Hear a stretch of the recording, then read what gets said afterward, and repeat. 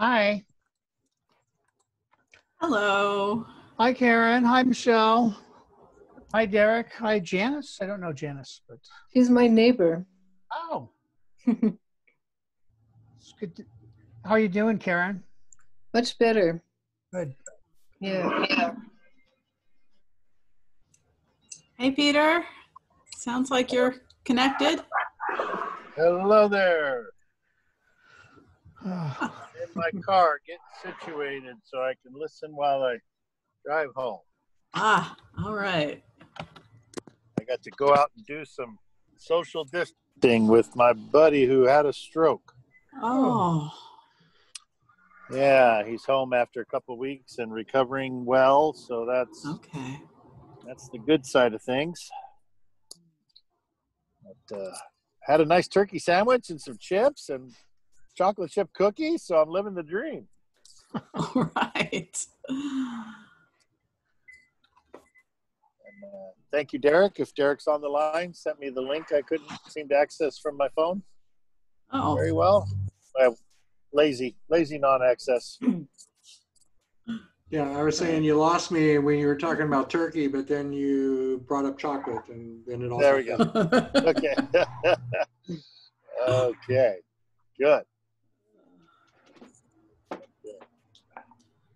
Well, I Sorry. heard Paul. I heard Paul give a, a little bit of this talk at the youth summit the other day, and it's like, all oh. right, Oh. fun. oh, fantastic. Yeah. Yeah, yeah, that was that was nice to help support the little whippersnappers.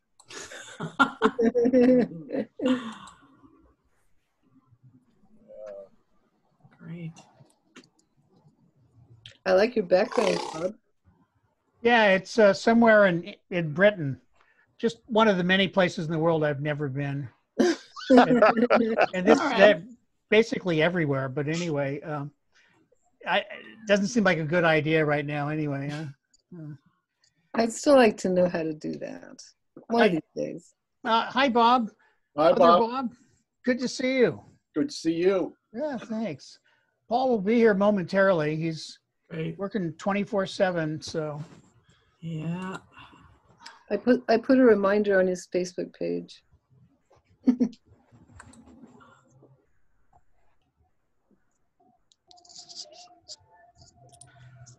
uh,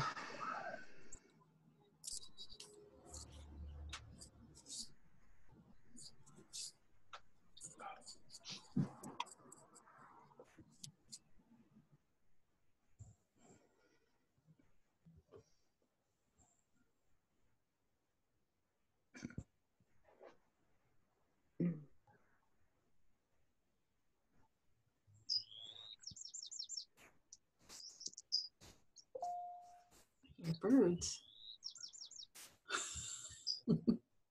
That would be me. Ah, hi, Benny. Hello. hi, Benny. How are things going? Good. Good. I'm in my I'm in my backyard. Nice. The birds love it here. There's a lot of trees. Wow. Hello, Kenan. Hello. Welcome. And Marcus, I see you've joined us. Um, you can unmute yourself, I believe, if you want to pop in and say hello.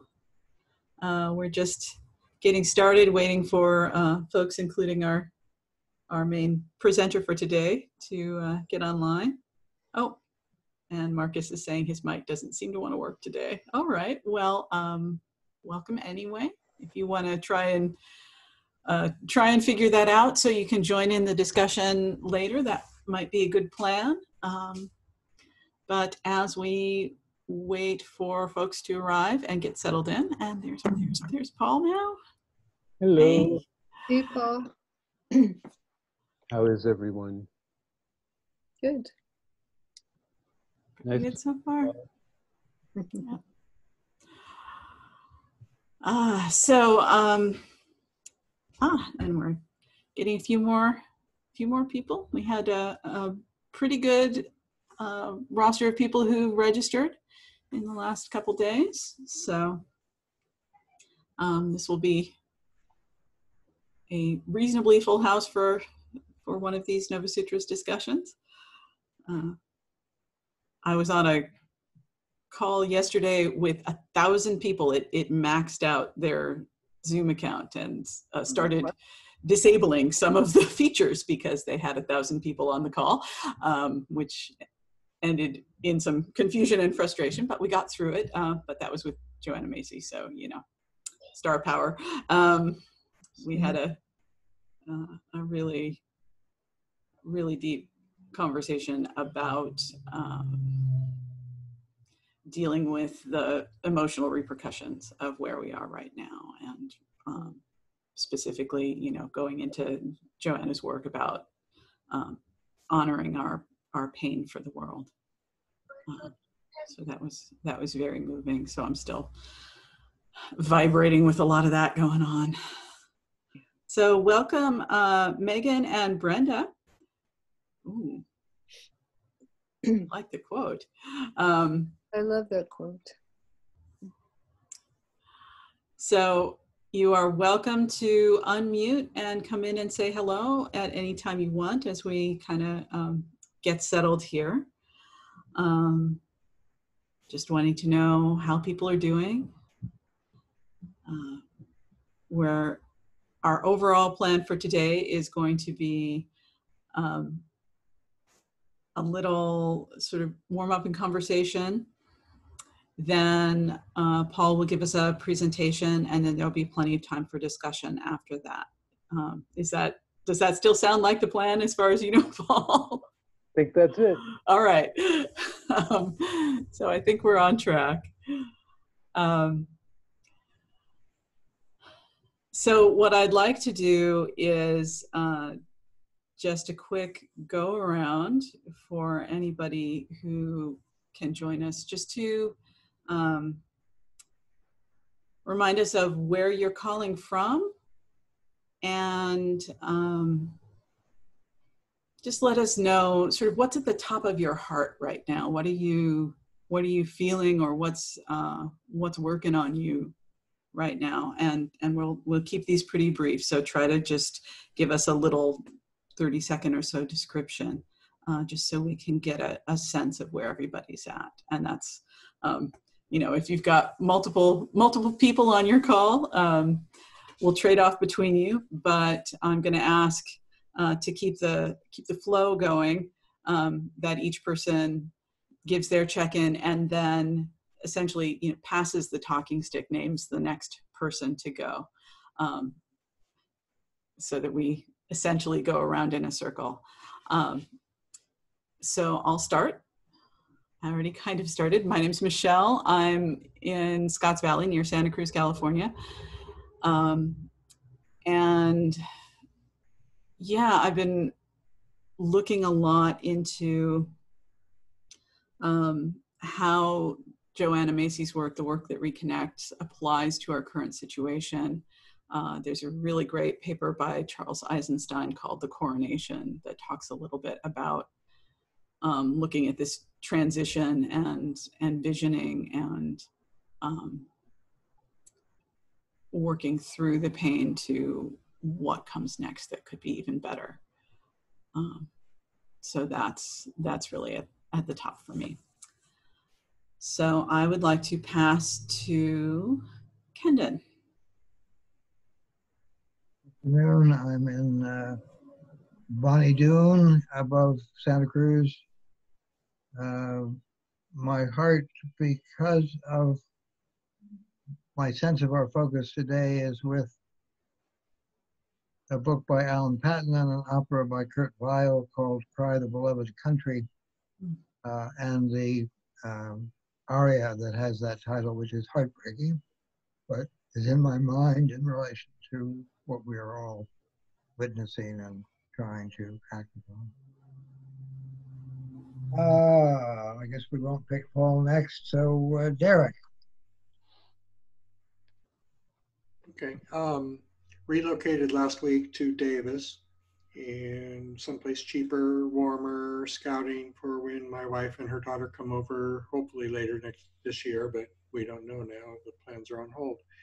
Um, and yeah, just I feel like one foot's still on the cliff and one foot's dangling out over the abyss, and just not quite sure when to push off and and take wing. So that's where I'm at. Um, how about Bob?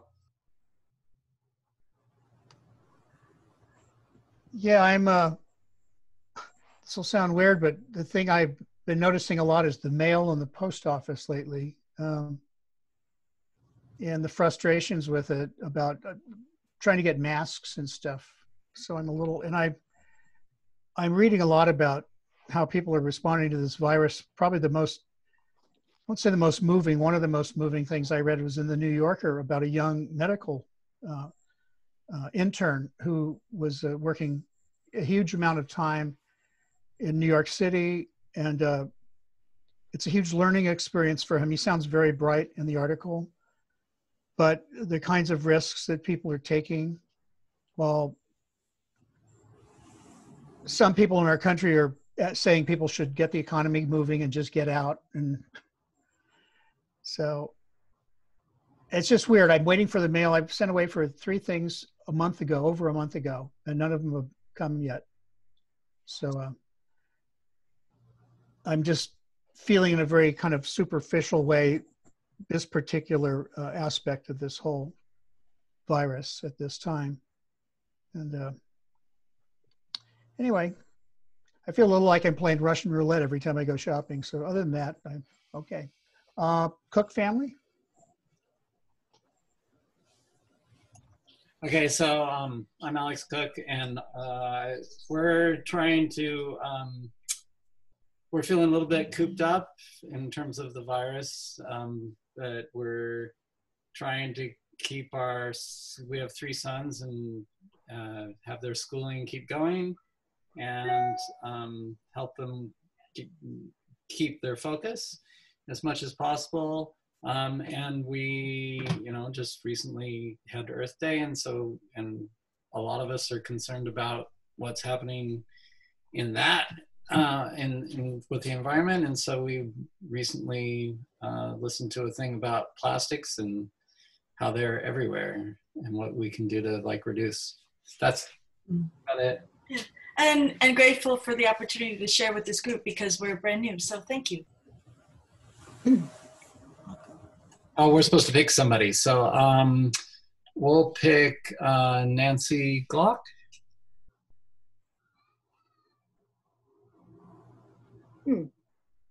You're muted, Nancy. He was here. Yeah. I'm here. Yeah. They are. Thank you. Perfect timing. I just got settled into where I could actually come back on the video. Thank you.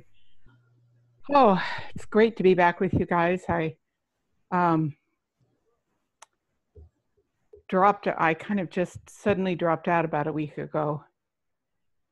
Um, a lifetime pattern, not among my more endearing characteristics to drop out and not communicate, but I have been very nourished by the many conversations we'd had through Nova Sutras and much inspired and also overwhelmed in some ways. And the very day that that was going on, I got an invitation to do a second round in my TV series.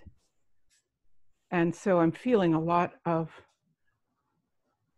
hope and commitment in doing that and all the help that is available to do it and the opportunity to be of a real resource for people for hope with stories of success citizen successes from around the world.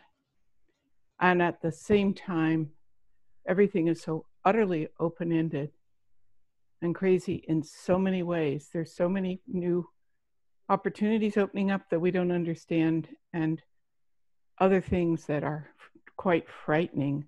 So i've also been feeling the fear and the grief around that. And most of all i think the gratitude that even while we're physically separated the quality of our connections using the technology but really using ourselves as it were by being willing to show up and be vulnerable and committed um, so i'm really glad to be here today um,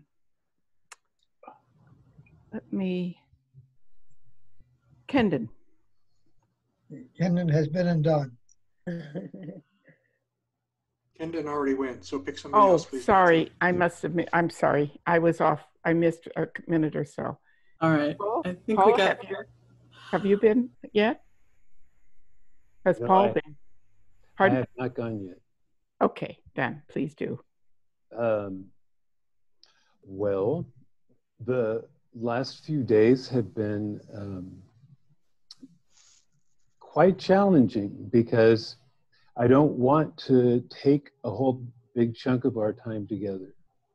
Uh, and I have a, a sense of something uh, that I guess is sort of the the stubborn, uh, expansive possibility of life, sort of present all around us but not seen. Um, and um, sometimes I think uh, sharing, sharing, that's almost really not even hope. It's more like direct perception. Uh, uh, our ongoing humanity, uh, knowing from polls how little has really changed in a way since that first Earth Day. Um, and sensing that the larger, largest obstacle we face is sort of looking in the mirror of the last four decades, uh, which distorts terribly um, the reflection that we see because there has been a kind of coming apart of public policy and public purpose and the public. Um, and so, well, I'll get into that. But but the the talk um, I think may have some fits and starts in it. Um, I had hoped everything would crystallize in a way that, you know, I kept thinking haikus and comic books. you know, you can say it in a sentence. Um, so I think today is going to be a little more about telling stories. Um, and we'll see how that goes. And um, I'm hoping that we can do a little uh, silent meditation at the start. Uh, maybe I can get my heart to stop beating so fast and uh, get a little centered. So I'd love to hear from Benny.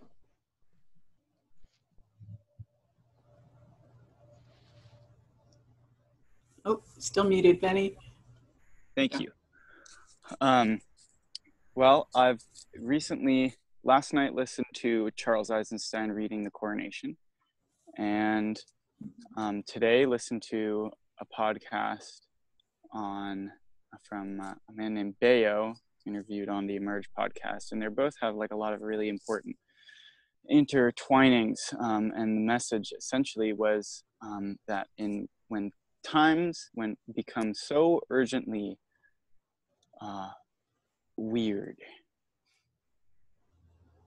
We are our our duty and our role and our uh, what is asked of us is to not um, to not view it as solutions, look for solutions to a problem, but to play with the weirdness, um, to get more weird, and um, part of the playing involved is is like a not seeking um, in my opinion, and trying to be with the monsters.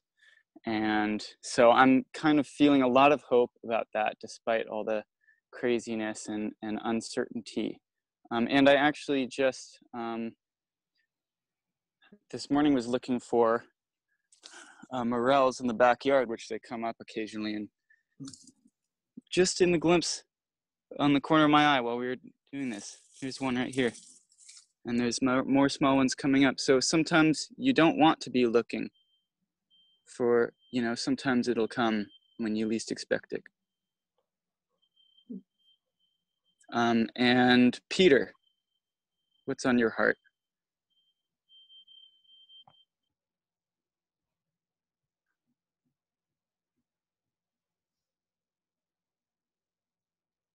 Peter, we can't hear you. There we go. Go ahead. Yeah. Hello there. Thanks.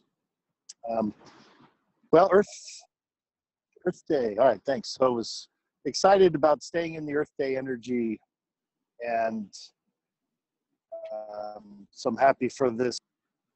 Um, and so what's top of my heart is is the difference between Earth and the Earth. I've been exploring that and exploring Earth as a as a verb, earthing. And uh, the timing was good that nobody picked me earlier because I got to my destination, so I get to be the the scenic outlook. Ooh. Took myself to the beach near uh, La Selva at La Selva Beach, so I'll be joining from here for a while, and uh, happy to be here with you all. Because I'm on my phone, I don't know who hasn't talked or not. So, if Derek, maybe you could pick someone who hasn't spoke. That would help. Sure. And Marcus says he's got trouble with his microphone, so let's go to Karen. Let's see. Am I on? Yes. Yeah. Um, the thing that just came in my mind is last night we watched a TED talk by this very beautiful young woman from North Korea. Um, I can't pronounce her name. Maybe some of you have seen her talk about her escape from North Korea when she was 13. Um, and her talk last night was really for us to understand how fragile our freedom is. So she was giving us a picture of the darkness in South Korea and the total lack of education or understanding that people have. They don't know anything different than what they've experienced. And she told us that that happened in, in North Korea in three generations. So she wanted us to really take in that our freedom is fragile.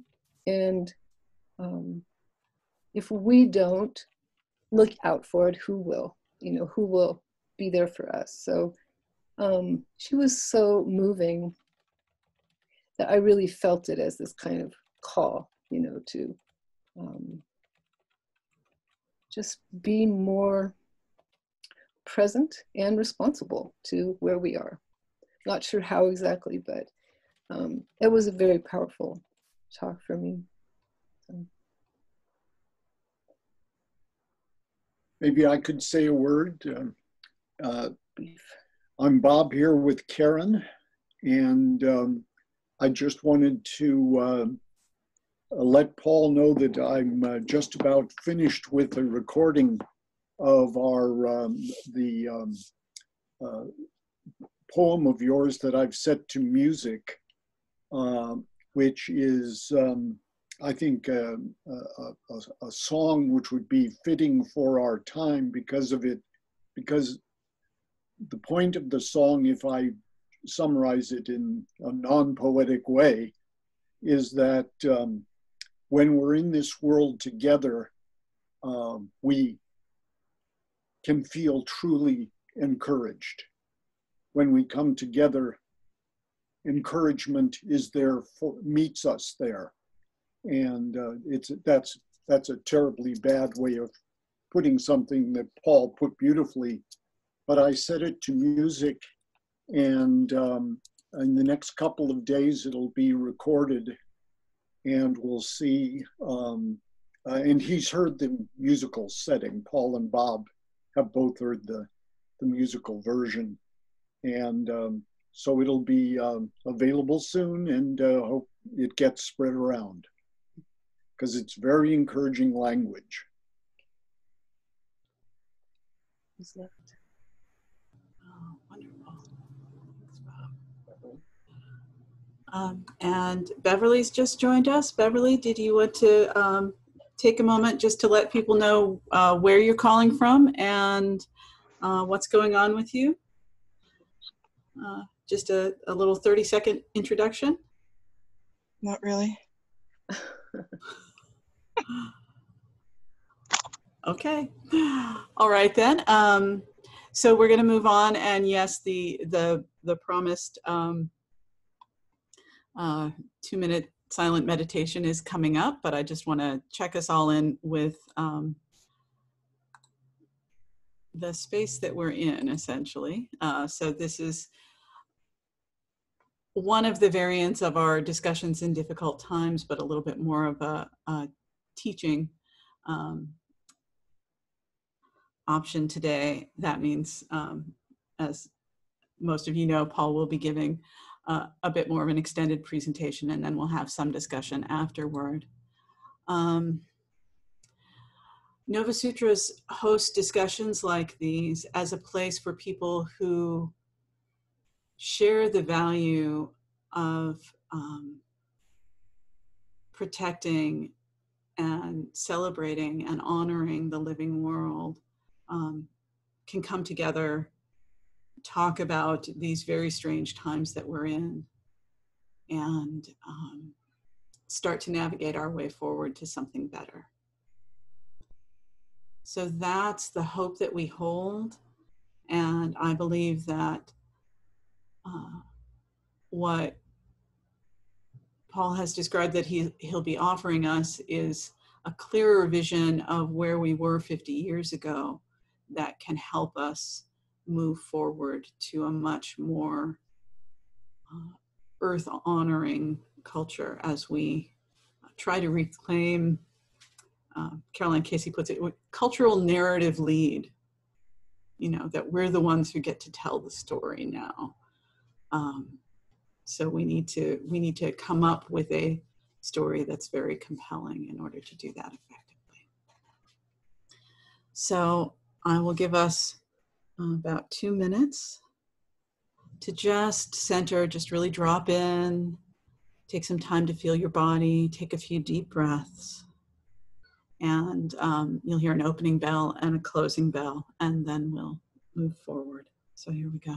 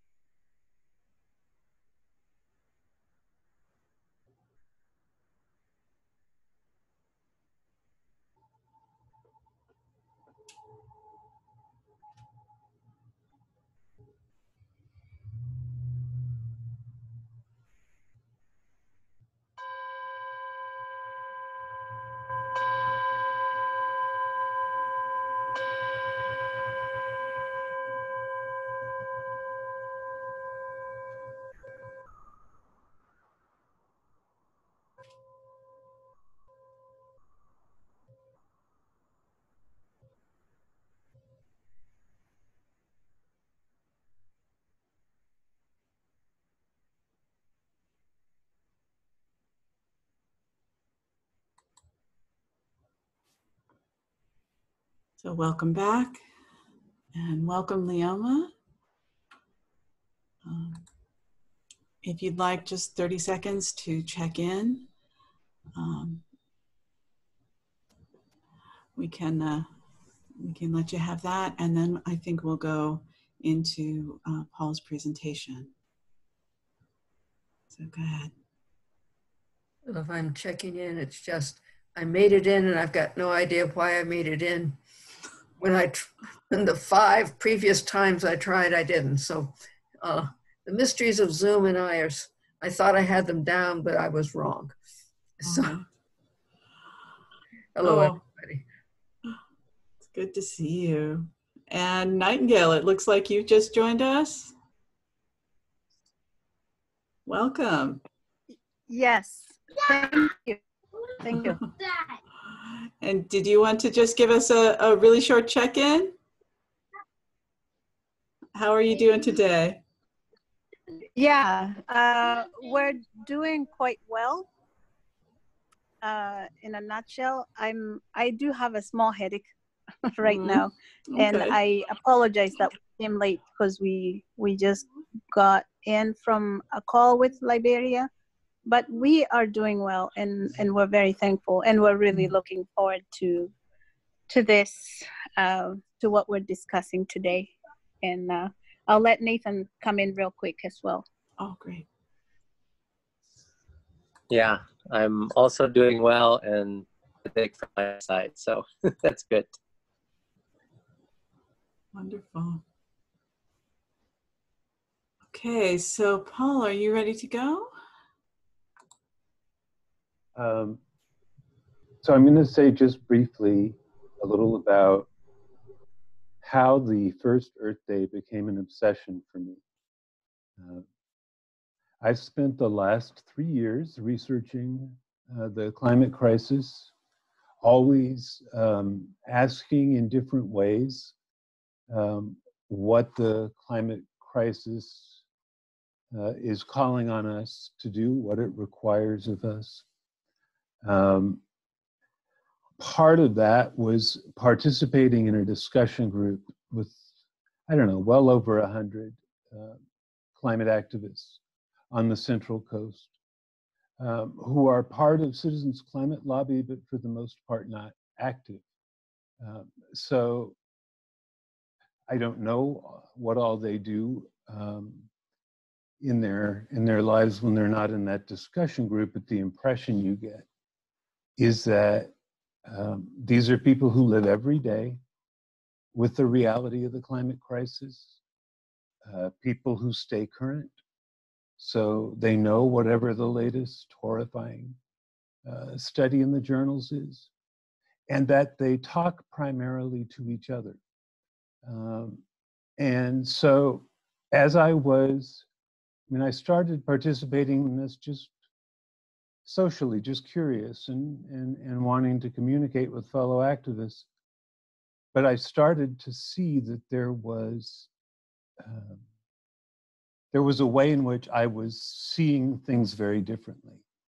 Um, I've been I have spent pretty much my entire adult life um, trying to understand how the world got into this uh, state and how America specifically did. Um, and although it's uh, you know challenging material, my experience of that um, search and just a lifetime of activism that goes with it uh, has kind of consistently brought me home uh, to hope and new beginnings. Um, I should maybe explain my background is in political thought and uh, the political thinker who is sort of my guru is Hannah Arendt, who says this wonderful thing that you know she was originally a philosopher. She didn't want anything to do with politics. She was a, a German Jewess in, in Hitler's Germany, and uh, and she barely escaped with her life uh, because she stayed behind to help other Jews escape. But that was the end of I will just be a philosopher uh, for Hannah Arendt. She no longer felt she had permission uh, to remove herself from the political. Um, and so she went uh, in search of it uh, the way a really good thinker who sort of new to something does. She thought through it all like no one ever had really thought about it before. Uh, and she came up with this wonderful, uh, clarifying uh, principle that while philosophy uh, sort of corresponds to the human condition of mortality, uh, that it looks at life kind of in retrospect um, and subjects the whole of life to, to a kind of mortal scrutiny. Uh, make, seeks to make life answerable to mortality. Uh, that politics is corresponds to the fact that we are born, uh, that human life begins. And she says, uh, because every human being is unique, uh, with every birth, um, a unique essence comes into the world, uh, unlike anyone who has ever been before or ever will be after, a someone where no one was before. And she describes politics almost um,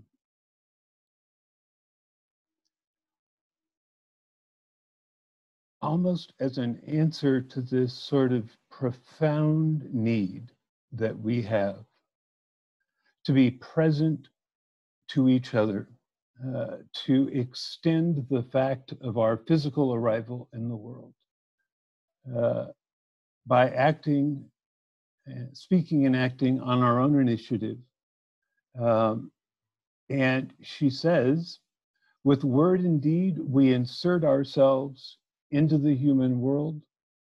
And this insertion is like a second birth um, that bears us into the world, uh, revealing not directly to us, but to the others that we engage in, uh, engage with,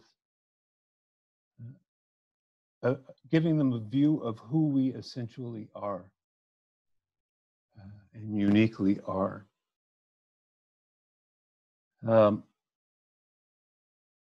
so for Hannah Arendt, politics is a, about how human life is, in a way, always in the beginning. You know, those words that the uh, Old Testament begins with, in the beginning, that, that for as long as human beings are being born and coming into the world, uh, the capacity to begin again uh, is always present. And her ways of talking about this speak directly to what we're do, going to be doing here today as soon as I'm done. Um, speaks directly to the need for people to come together and speak and act, discuss, deliberate, and decide the terms under which we're going to live. Um, that that coming together um, is the only thing that has ever prevented, uh, ever saved the human world from ruin. That things naturally fall apart. Uh, we look at things falling apart, and you know, it, it, it, does kind of seem like we have a unique gift uh, for disassembling the world, but but she would remind us know that that is sort of its tendency unless we are actively recreating. Uh, so with that uh, in mind, um, I'm going to go back to this discussion group that I participated in uh, sort of rigorously. I read every post, every comment, every everything to try to get inside the minds of my fellow climate activists and, and see how we were doing. And what I saw was that there was a kind of uh, misanthropic uh, work um, that I think is entirely natural. Um, that in their frustration at the decades of inaction and not being, uh, not seeing a clear path to change them, uh, that my fellow activists were doing something that since the election of Donald Trump, uh, there has just been kind of an orgiastic feast of this activity.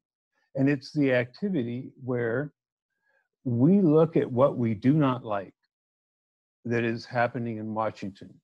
Things people are saying they should not say, things people are doing they should not do, and above all, if you're a climate activist, the things that desperately need to be done uh, that no one is close to doing. Uh, and the tendency is to then project that back on to your fellow Americans. And voters in both parties do this. Uh, voters in both parties have uh, a version of reality um, that that is really this sort of backwards projecting, and it is uh, terribly unfair when you look. Uh, I call it excavating public opinion. When you look deep at polling and you throw out the polls, uh, where they give people cues and prompts and uh, especially partisan cues. Uh, and you just ask people, what would you like to see your government do? About 80% of the time we agree.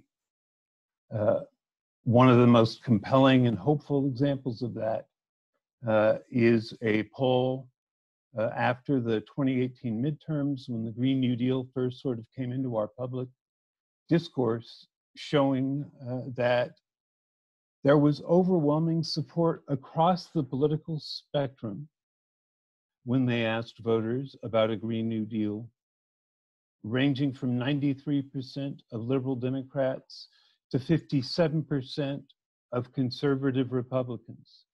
Now, think what most people you know, most progressives uh, are imagining when they hear the words conservative Republican. Whatever it is, it is not a population, 57% of whom are really enthusiastic about a Green New Deal.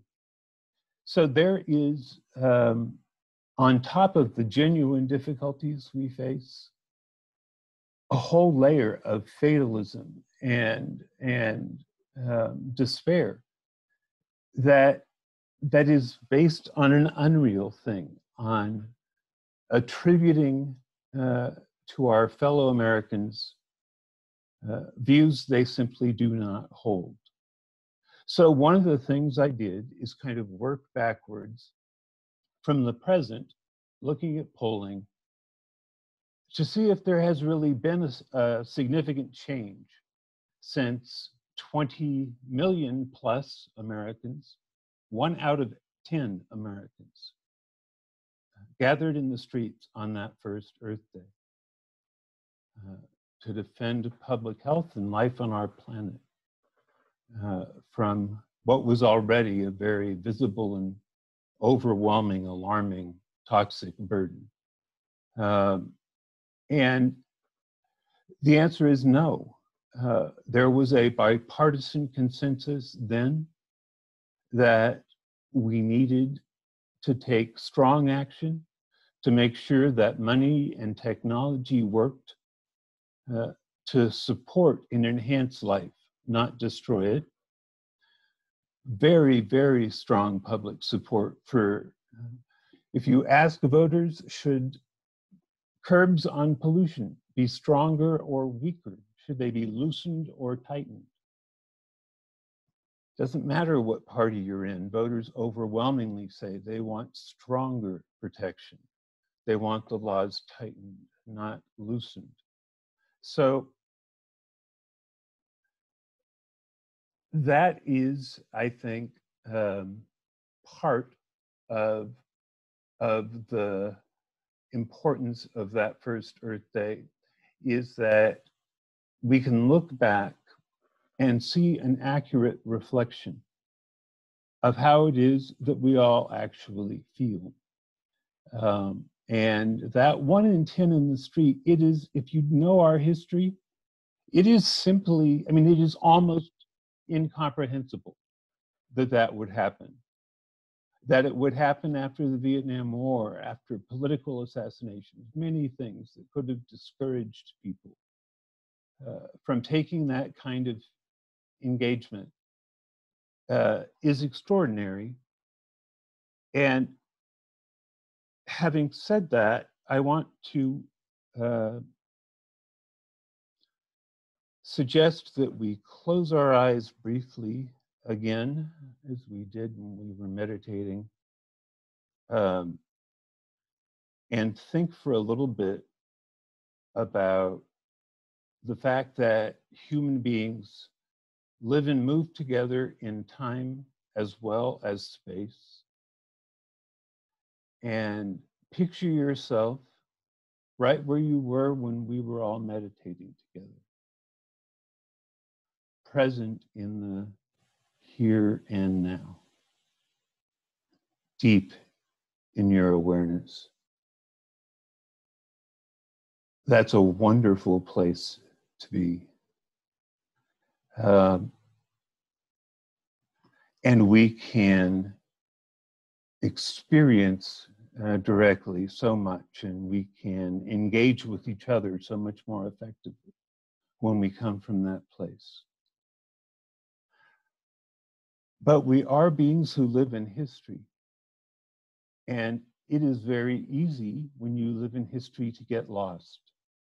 Um, and so now, what I would like you to picture is American history from uh, the very first British settlement in the 16th century all the way to the present as kind of a very wide, very long highway. And we're on April 24th, 2020. And we're going to let our mind's eye go up, lift off from our place in the present. And as we do that, we are able to see larger and larger pieces of our history. Uh, so you can ascend enough uh, that you're back before Donald Trump. That will be a lovely tonic for all of us, I think. Uh, there, there was in fact life before Trump. Um, but I want us to go a good deal farther back. Um, in fact, I'm going to suggest a particular touchstone that will help us understand how profoundly American that outpouring of concern for the earth really is that we saw on that first Earth Day. So we're going to go back before the New Deal. We're going to go back before the Civil War. We're going to go all the way back to before the American Revolution. And we're going uh, to have a chat with Ben Franklin about the Iroquois the way that a lot of us remember our past or imagine our past is that there was nothing but antagonism between British colonists and American Indians. This, of course, is not true. Ben Franklin was uh, a huge admirer of the Five Nations tribes, uh, Five Nations tribes that, uh, that he called the Iroquois. Um, especially uh, an admirer of something that I think really unnerved him, which was their ability, uh, almost effortlessly, he said, uh, to obtain everything that they needed from the natural environment, working together uh, so seamlessly and efficiently, uh, and with so little strain or objection to the activity uh, that uh, there was, it took very little time. And so Franklin says they have a great deal of time left over for what he calls improvement through conversation. And he knew about that because one of Ben Franklin's roles was spending time in the treaty talks, and he was the one writing everything down. Um, so he talks about how uh, at uh, tribal councils, nothing is ever decided until everyone has had a chance to speak. That no one ever interrupts. That in fact, there is sustained silence when someone finishes speaking. Because what if they forgot something? Uh, and, and that as he sees this, he thinks about Parliament, where everyone screams at once. And the idea that that represents civil, civilization uh, seems like a reach. Uh, he describes their hospitality, the way that any British colonist could walk into the uh, the areas uh, that the Iroquois they were friendly with occupied, and and be treated like you know the most desired guest, um, and given food and and made warm and offered a tobacco pipe. So what he's seeing in, in the Iroquois is a level of civility uh, that seems inseparable to him. Their freedom, their ability uh, to have this very direct, consensus based democracy, uh, their, their lack of uh, their their lack of um, grievance, their their their volition, uh, the way that their energies pour into the world unobstructed, um, compared to uh, the the colonists. Uh, he says that you know the, the Indians find the ways the colonists live slavish and unworthy of human beings. Um, so Franklin was not alone in that assessment. There were a lot of people who shared his positive estimate of the Iroquois and did a lot of soul searching about it. Uh, many of the names that we admire that it is very true of Tom Paine. And there's a, a great many interesting American writers that no one has ever heard of uh, who did real searching of themselves about this. So,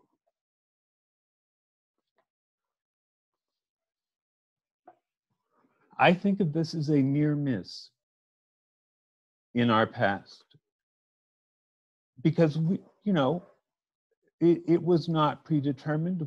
Many things could have come of British colonists arriving in the New World. Um, and so I think now the climate crisis, one of the things I'm clearest about is that the climate crisis requires us to revisit that particular missed opportunity uh, because it is more relevant today than ever uh, with 80% of our surviving biodiversity on indigenous land. looking for a quote. Here it is. This is one of Franklin's contemporaries uh, named Colden, who wrote a lot about the Iroquois, and he says, the Five Nations have such absolute notions of liberty that they allow of no kind of superiority over one another and banish all servitude from their territories. So, this sadly could not be said of the colonists. Uh, and at the risk of overshooting my time and taking us too far astray, I will just briefly mention this fact that no one seems to know, um, although you can find it on Wikipedia, uh, that Jamestown was established in 1607. From 1607 on, between half and two thirds of all whites arriving in America arrived in a condition of bondage as indentured servants. And uh, at one point in Virginia, um, over that, I think it's 1630 to 1650, 75% of the 50,000 whites who came into Virginia were indentured servants. So they were worked so hard under conditions so brutal, uh, needless to say, with no pay. Uh, they they they fell ill, um, and and then they were made to work when they were ill. So they just a Dutch visitor said they died like cats and dogs, uh, and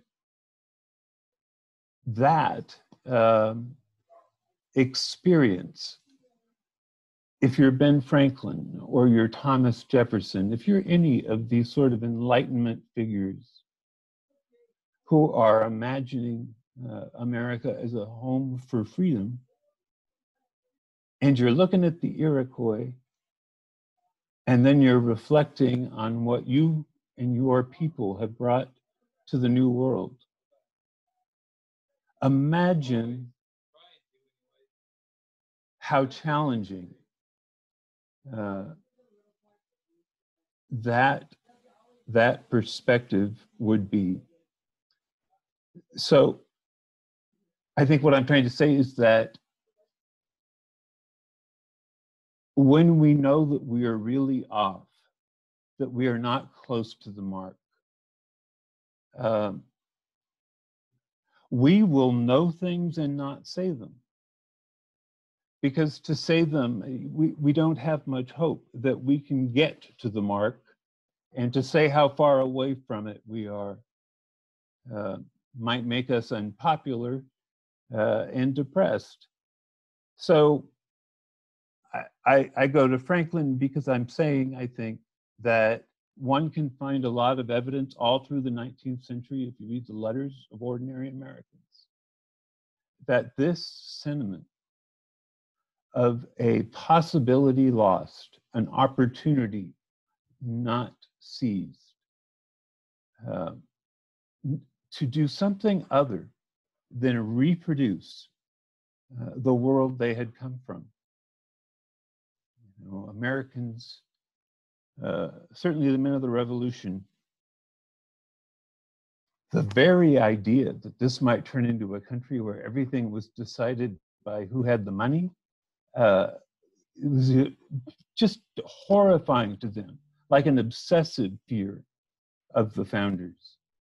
So I think I want to say that in my estimation, and I have spent quite a bit of time with Americans at different periods in our history,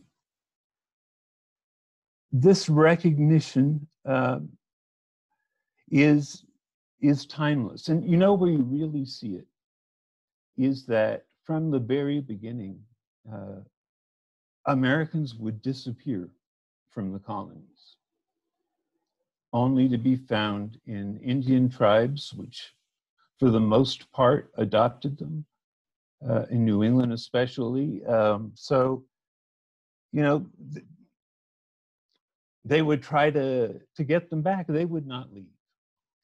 Um, the lack of individual poverty, the lack of uh, of the greater than human ruling over the less than human as a social dynamic, uh, the certainty of belonging and the possibility of belonging not just socially, but of belonging in place, of belonging to the earth, of being part of the earth.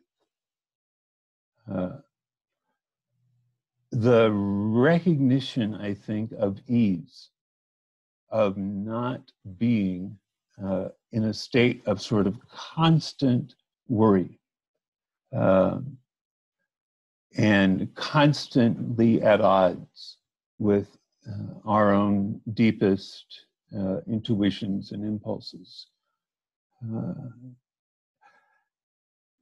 So I think Crèvecoeur says as late as 1782, uh, thousands of Europeans are Indians. We have not one example of even, we have no examples, not even of even one of these Aborigines having from choice become European.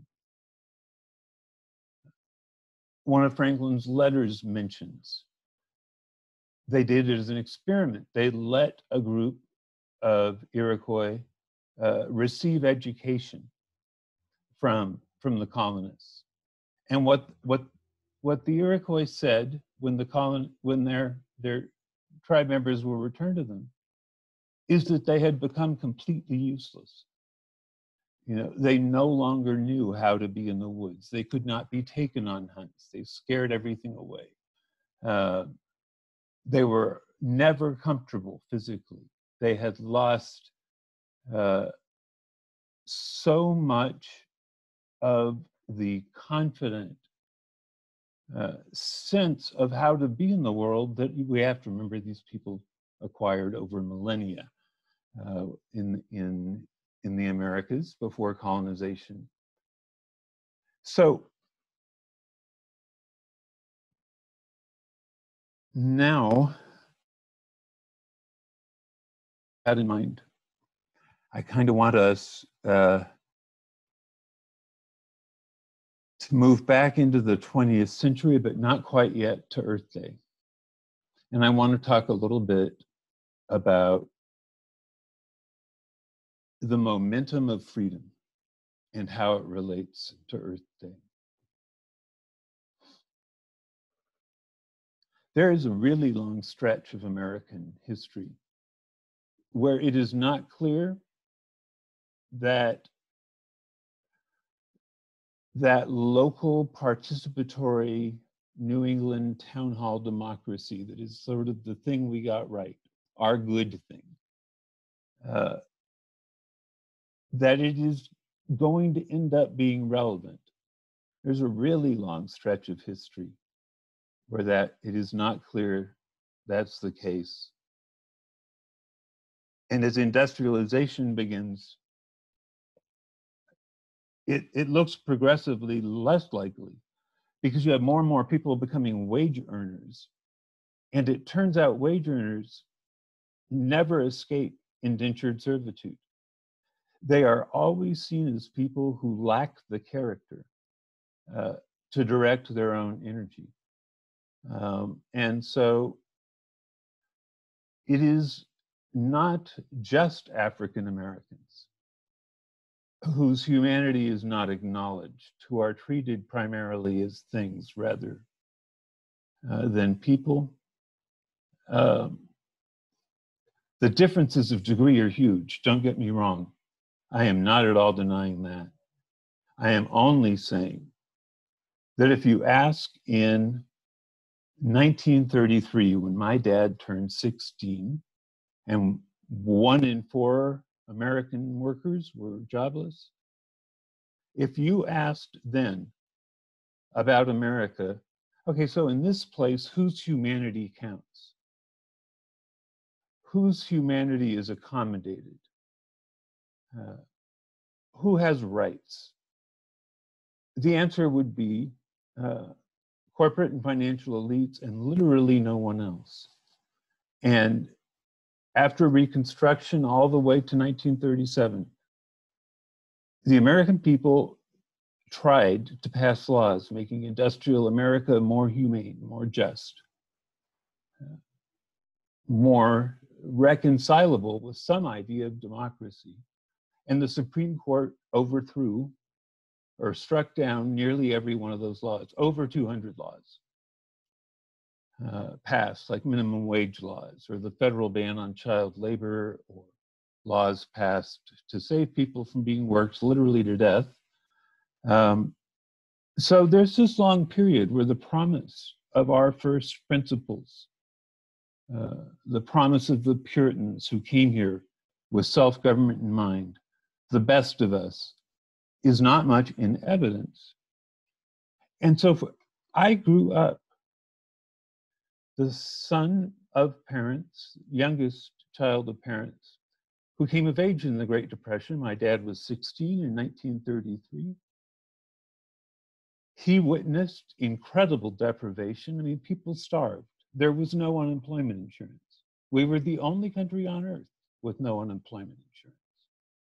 Because unemployment insurance would have been an accommodation of the humanity of working people.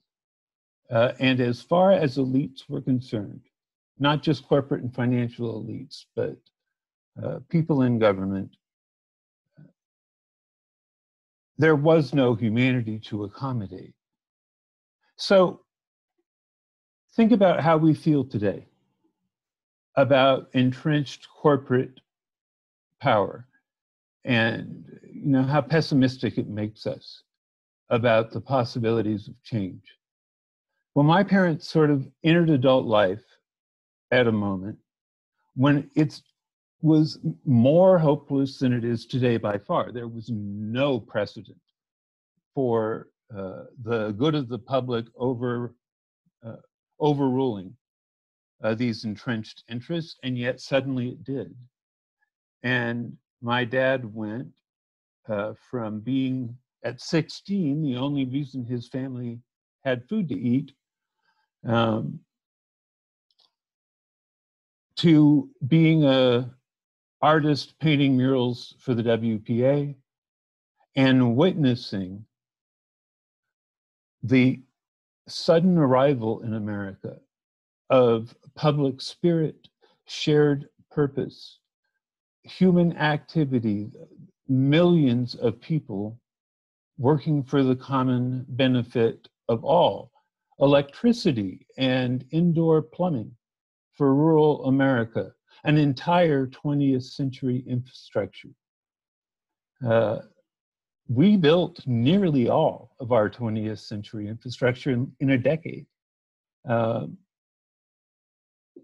the collective bargaining rights becoming the law of the land at last, so that you could no longer be shot uh, for suggesting that you should share in the profits you generate an actual consensus that that has to be the case. My parents had the wind at their backs, infused in me a conviction that it's all about whether or not uh, the people are paying attention and asking the right questions. And they never stopped asking the best questions they could come up with. Their questions were, "What's next?" You know, we've we've acknowledged that working people are human beings. They are, in fact, sharing in the profits they generate. Now, 1970 is a turning point. Uh, 1970, that is still true.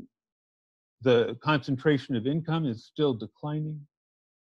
Prosperity is still shared income gains are still largest among those at the bottom of the income distribution. So this is an American, America that has been moving for decades in a sustained way along egalitarian lines toward an ever more inclusive application of its first principles. This is America that has managed to redeem its beginnings uh, to a great extent. This is an America where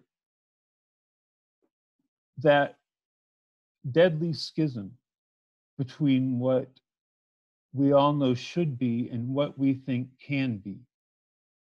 The we have to, but we can't schism, where we just sort of internalize the grief and rage and injustice and, and disaffection from life that that seeing people uh, seeing the humanity of people not honored or or the independence interdependence of all life not acknowledged over and over and over uh, you know the the sense that uh, we have to somehow adapt uh, to a world gone mad was not uh, where people were in 1970.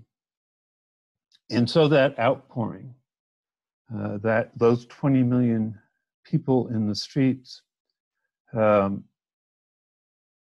are in so many ways. When I, I, I did a graphic about this just a picture of there's so many wonderful pictures of the streets overflowing on that first earth day. Uh, but uh, the graphic said 20 million reasons for hope. And and the thing is it's really like that. I mean if we i don't know where i think you've been uh, been in your vertical ascent while i've been talking but if we sort of try to come down right now together in our mind's eye and be with uh, the people of america on that first earth day on the one hand, it is about pollution. There's no question. It is a response to smog choked cities and rivers that spontaneously combust, other uh, evidence of pollution, DDT, God knows. But there is also a yearning and a direction. A, think of it this way this is by far the largest demonstration of public will in American history. There is nothing close to it. Uh, no other moment where so many of us expressed so emphatically and unmistakably at once uh, a purpose, uh, a, a direction of change on which we all agreed. And so I'm going to close now, but where this ends for me is with a kind of dialogue I think we all need to have with ourselves uh, and, and with our friends. Um, that when we think that the people of our of America are the problem, uh, that we remember those 20 million bodies in the street and how extraordinary and and and unique in our history it is um, and that we think about where we might be with the climate crisis if they had just been able to continue. Uh, and I have no idea how long I've talked now, and I think it's way too long. I'm just going to say very concisely because I think you all already know it. Um, there are sort of two main events that follow immediately upon that first Earth Day. One is a decade of astonishing progress in environmental protection. We are the clear world leader. Uh, I mean, there's really no question. Uh, so think about that and think about today. Uh, because when our people, when the, the desires of our people uh, were, were still sort of running the show, what happened is uh, 14 really major environmental laws passed. Um, enor enormous progress in cleaning up the environment just in that first decade. Um, and think of, of a Republican president creating the EPA, a Republican president signing more than half of those bills, uh, followed by a Democrat who said we needed to get 20% uh, of our electricity from solar uh, by the year 2000. You add all renewables together. Uh, we're not at 20% yet um, now, but it is not because there was not enormous energy in our people, enormous purpose in our people. To choose that course, what we did not do is validate the theory of the climate crisis that says we have a climate crisis because people are uh, hooked on consumerism and you know they just they live for for consuming material objects and and so they don't care uh, about the earth. Uh, this is uh, just calamitous this uh, this view but it is so clearly false. And what the reason I mentioned the Depression, the reason I mentioned the New Deal, the reason, reason I mentioned the sort of booming period that followed is that if that's what Americans were like, if we were materialistic, selfish people who just wanted to kind of narcoticize ourselves uh, with trips to the mall, then that boom after World War II, we would have gotten really addicted and we just would have moved very rapidly uh, in, in the direction that that suggests, and we did exactly the opposite. It took two generations of Americans who were not fighting to survive, uh, who had a measure of financial security, and who had access to college, just two generations, uh, to produce the most political uh, generation since the founders, engaged with a whole set of questions about who we are and what our reason for being is and how we should conduct ourselves, questioning everything, uh, and specifically saying, uh, you know, the pursuit of money is doing real violence to life. How about life as our top value? Uh, so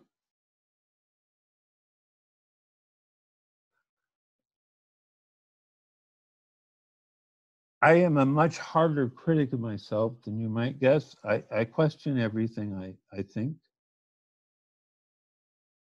But I have managed to sustain for uh, four decades now uh, an informed belief.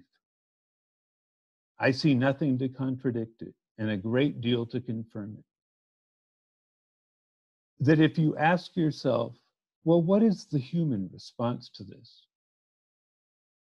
What is the most human way that we could feel about the conditions of life today? You will inevitably arrive at feelings that are ubiquitous among us. It's, it's really a matter of not knowing what to do with them. So the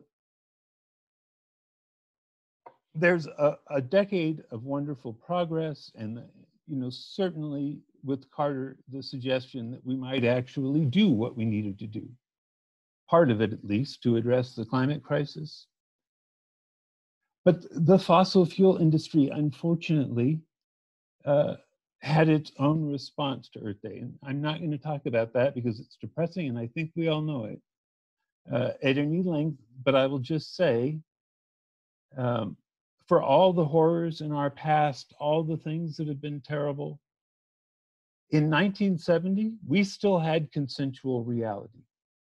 Um, and the one thing that we did not have to struggle with is whether we were all dealing with the same set of facts. Um, and then the fossil fuel industry had a good look at Earth Day, at that Clean Air Act, which they rightly perceived as a tremendous threat uh, to their future.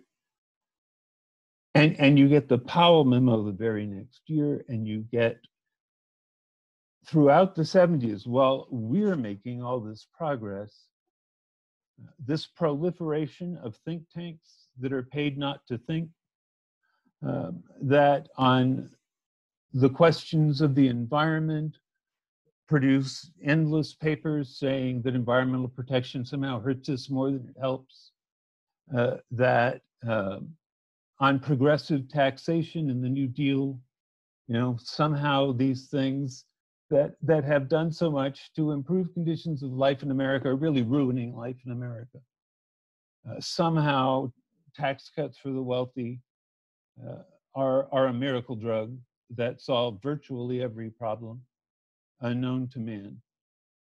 Layer upon layer upon layer of position papers with PhDs attached to them and so there's this moment in 1980 when, when Reagan's elected and, and you see an entire government that is the product of a fossil fuel industry unwilling to even consider a world that doesn't revolve around it, finding other interests, and engaging in this audacious project to create something that doesn't have any of reality's offensive features.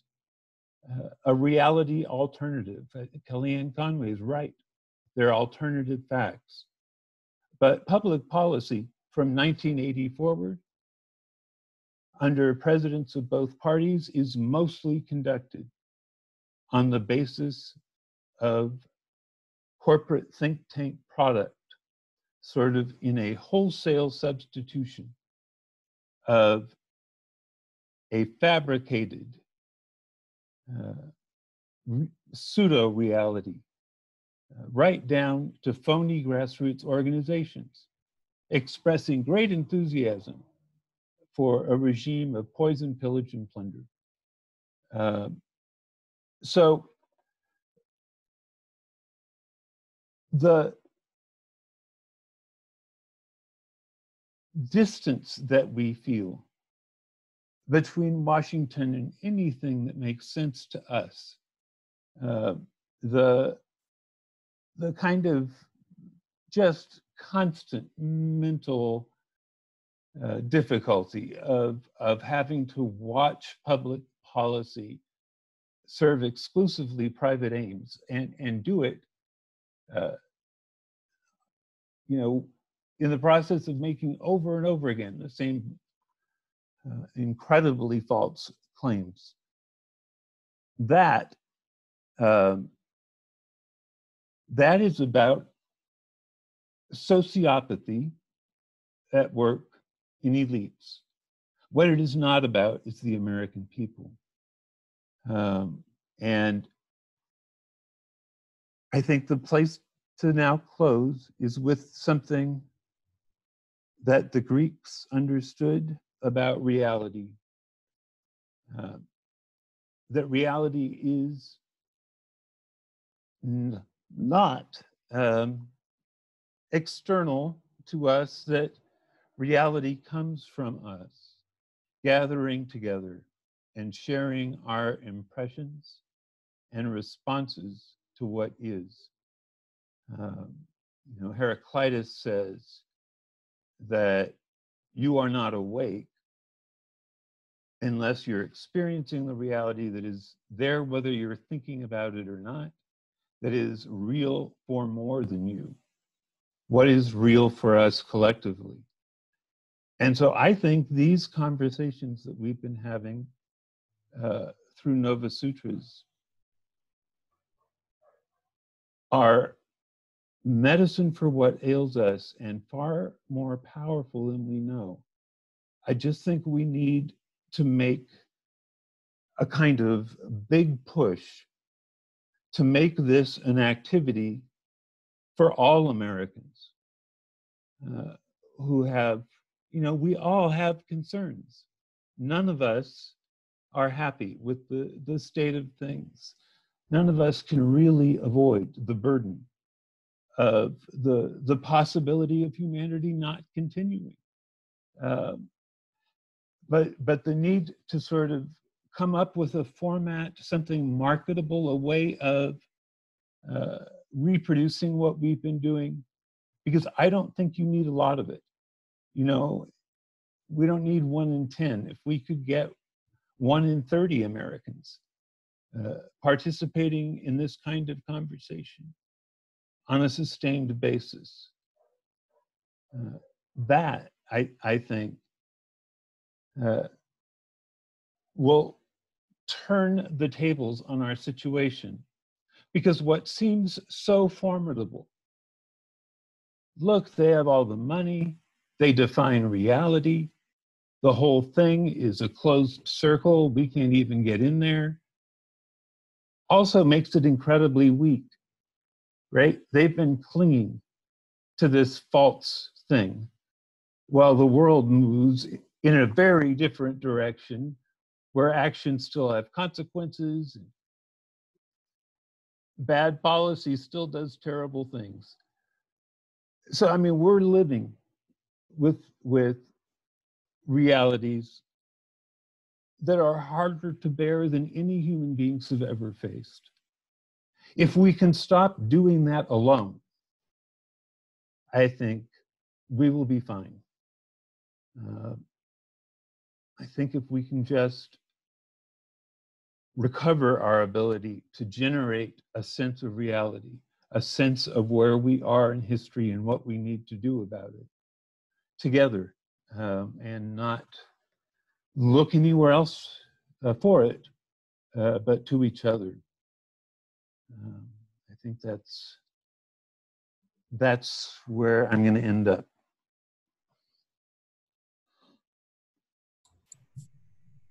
Wow. Thank you so much for that. Um, I just want to make sure that we have the visual reminder. I just, this was such a, such a clear um, statement and so powerful. Um, so I really, I wanted to make sure that I shared that. Now I'm recognizing that we are uh, actually only six minutes away from our official closing time. Um, I'm happy to keep us going a little bit longer, but I want to um, want to honor and acknowledge that not everyone can stick around for the discussion. So we'll we'll go into discussion agreements and have a discussion go as long as people want to hang out. Uh, but before we do that, I want to give a little bit of closing for people who might need to leave. Um, we are planning to have an ongoing discussion series as much and as long as we can. Um, and we really do want to bring more people into having conversations like this. I think, Paul, you just articulated it so well why these are essential just to um, to provide that space and the fact that we now have so many people who are um, whether they want to be or not liberated from their previous uh, busyness that was providing paychecks, um, that uh, that things might be shifting there. Um, of course, we'll need some support to to keep that up. So I encourage you to check that out on the website if you can. And one of these requests is uh, to become what we're calling Novasutras uplifters, which are the people who, uh, in this moment are going to be largely helping to uh, make this more replicable, to make it possible that we can have lots of these discussions open to as many people as possible. Uh, you can find out more about us on our website if you haven't already checked that out. Um, and I want to give a brief mention to the next discussion that we have lined up, which is this uh, day after tomorrow on Sunday at three o'clock. Um, and that will be talking a little bit more about um, how each of us can participate and what we can bring to uh, making this vision of having open discussions uh, more practical. Uh, that will be followed by a series of trainings where we're actually going to help walk people through some of the skills and techniques that um, that we've been developing that might help make this uh, make this sustainable and and um, grow in a major way. Uh, the other thing that Novasutras offers is guided meditations. One of the other things we offer is guided meditations, and there will be one of those next week as well on Thursday. Uh, so, with that, I'm going to actually take us into the conversation question and um, just remind us of these agreements that while they don't quite get us to the extent of the uh, Five Nations Council process, which is very expansive and would be lovely to just set aside a whole day to do at some point, but um, but to give us a chance to have a little bit more expansive conversations for say the next half hour or so. Uh, and a lot of it is about deep and respectful listening, that non interruption, full attention, really honest, authentic, open sharing, and um, honoring diverse points of view and assuming the best intentions from everyone participating. Uh, this is being video recorded and we will be posting it on YouTube.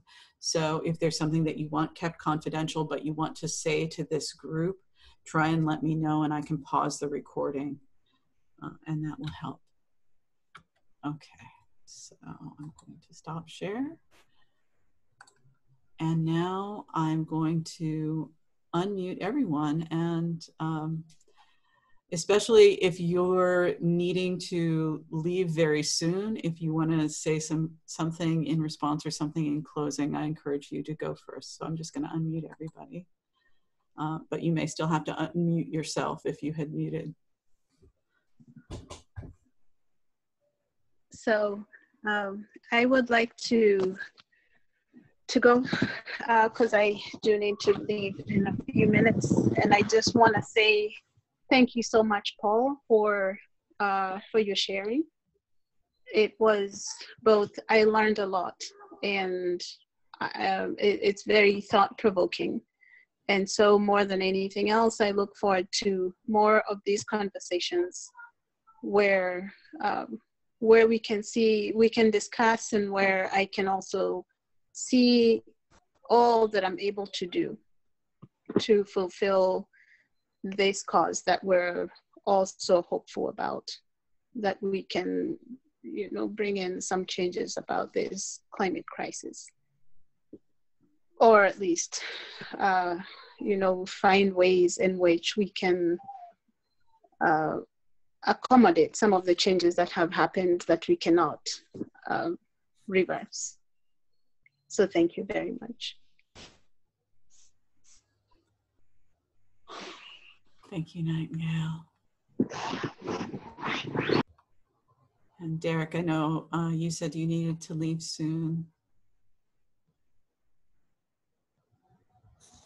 When we're dealing with a system, um, it's there's just so much to unpack.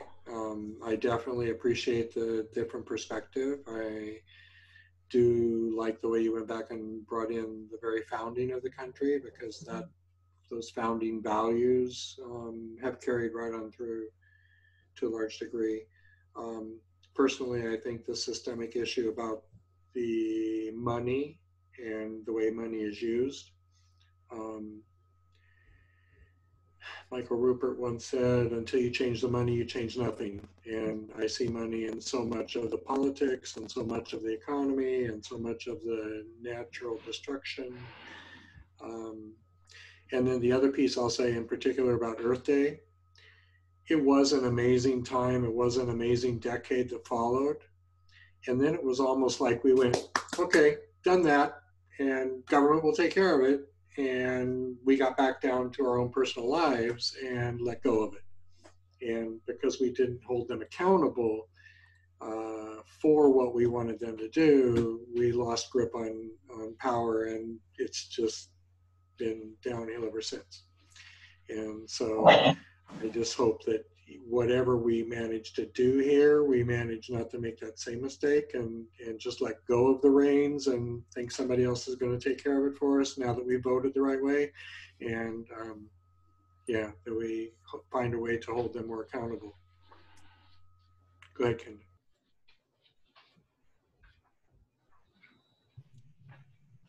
Kendon? Kendon, Ah. did you? Oh, thank you. Um, of course, many thoughts.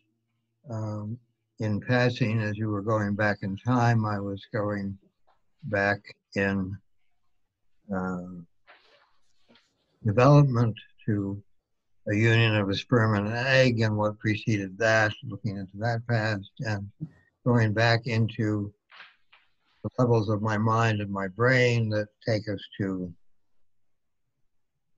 being and beginning, but relevant to what was just said about money and what Paul enjoined us to do. Loosely speaking, if we have slave owners in our an- ancestry, that part of our task is to uh, be present to them and to somehow take in what gave them who they were uniquely.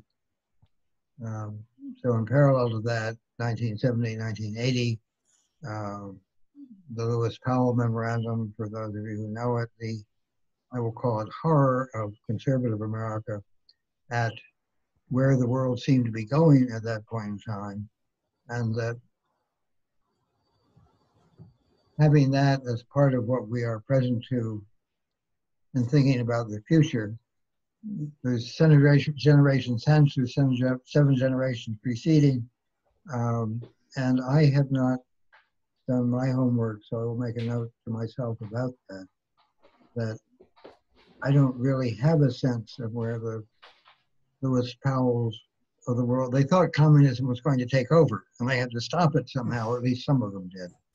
And some of them were motivated, of course, individual greed.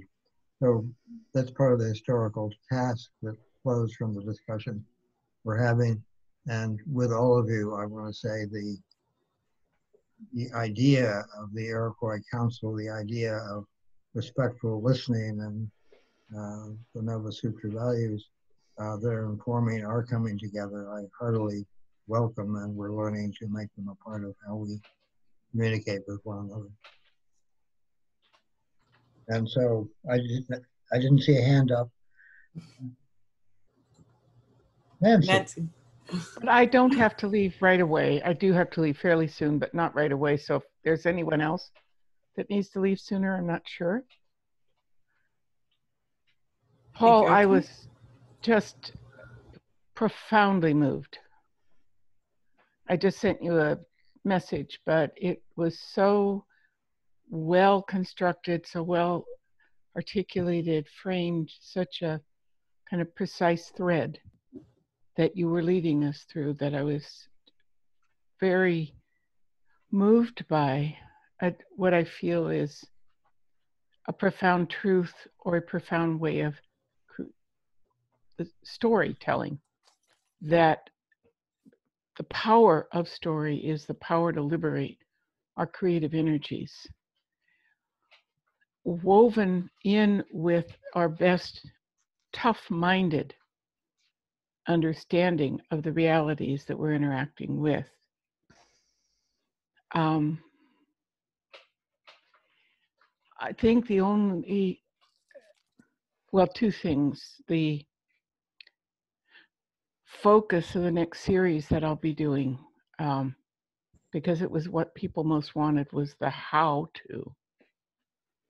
How to do this and to understand better what happened in the last 50 years that we lost so much control or sense of control or belief in it because most would say probably the two beliefs that most harm us. No, I want to say three. One is that we are powerless. Two is that we are harmful. And three, that we are not to be trusted between each other and within ourselves. We don't trust ourselves and we don't trust each other. And I think those stories can be remedied. I think they can be replaced. And what I hear you doing is helping to frame the alternative story. Where I am, a piece of it that I'm struggling with, and it ties into next Sunday's conversation,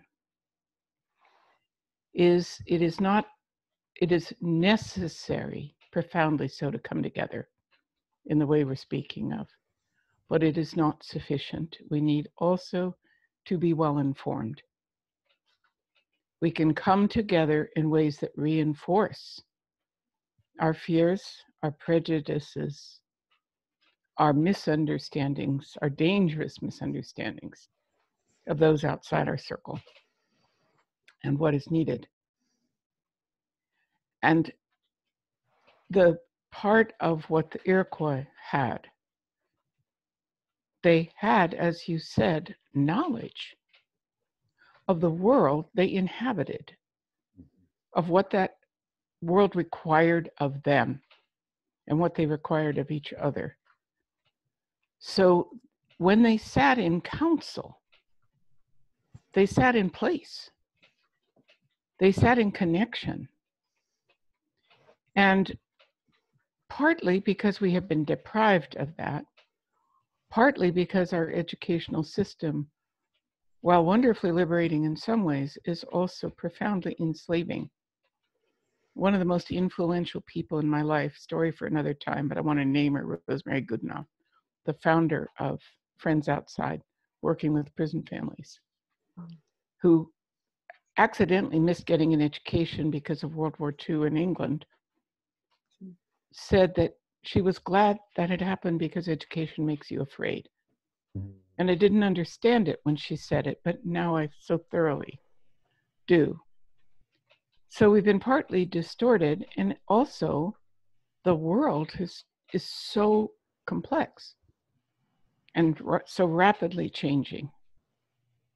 And as Kendon has been so eloquently teaching us, we have also been through a misunderstanding of what science is about, been deprived of our own deep instinctual knowing and access to it.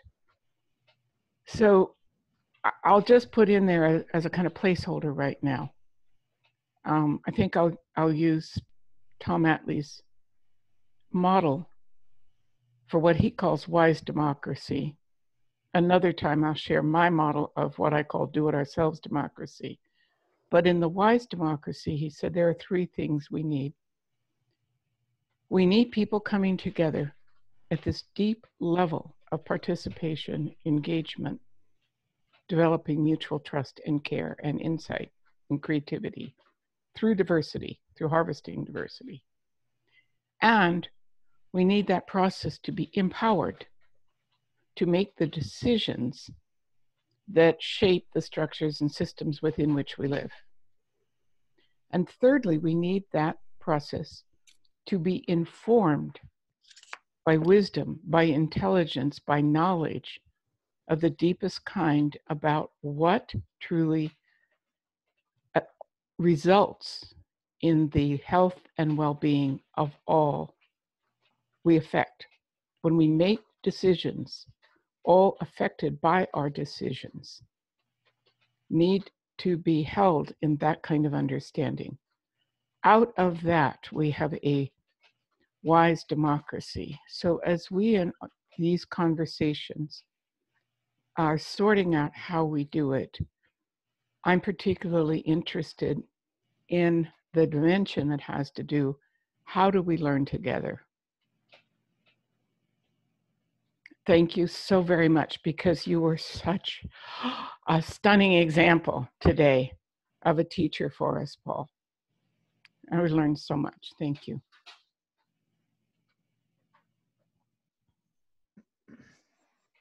Liama, go ahead.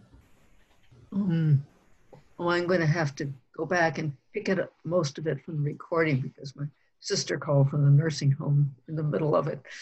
But picking up from where Nancy left off, I'm very much interested in how we structure the process of conversations. If we can figure out how to provide a platform that would use what Nancy was talking about. So it's a platform which encourages diversity and honors that, a platform in which we can speak about power. I mean, there should be ways to structure this in, you know, the power, the um, the knowledge, and also I think of that model as circled by the natural world, impinging yes. on coming in at all points in the process. And I, the internet developed a hub structure. Um, you know, I think we should conversation for another time is look at the sort of structures. And another thing that developed with the internet is there are also places that are isolated and not in contact. I mean, whole areas that are not in contact with other areas. And so I, that's a conversation I'm just putting out. That's a conversation. How do we structure the platform? Because part of the ways the power you can gather power is by making new connections. In evolutionary terms, that has often been a way where we where something new evolves that you connect in a different way. And I will end with bringing in my grandmother's spirit into this. She was born in the South, oh, maybe for 10 or 14 years after the Civil War. I mean, just talking about change, a perspective on change. Okay, this is my grandmother within what somebody called the warm connection. I mean, I touched my grandmother. And she was born 14 years or so after 10, 14, shortly after the Civil War in Virginia, not far from a place where there was an infamous slave factory where they bred. I mean, I can't speak of it without, they bred humans for slaves. And she, as a child, knew people who had been born into slavery. She lived through seeing the coming of the car, the airplane. She saw the first man walk on the moon she told my cousin who was going out on a date, no, you're not. You're going to stay here and watch this. This is historic. She also told my cousin, who was a teenager at the time, that about the slavery, do not let anybody tell you that we were not all complicit in the slavery. She had some of her siblings to their dying day were staunchly prejudiced and did not believe in the equality of, of those who had, who had formerly been slaves. She herself had a grandson who was a doctor in Puerto Rico who married actually a couple of nurses in succession, Puerto Rican nurses. She had, so she had great grandchildren of multiple shades of brown and because they were her great grandchildren, she loved them.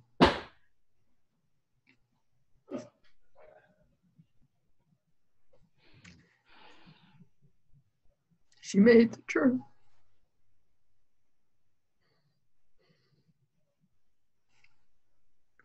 Not all her and her family did, but she made the turn. Leoma, what was her name? Mona. Thank you. Mona Mobile was her married name, but Mona.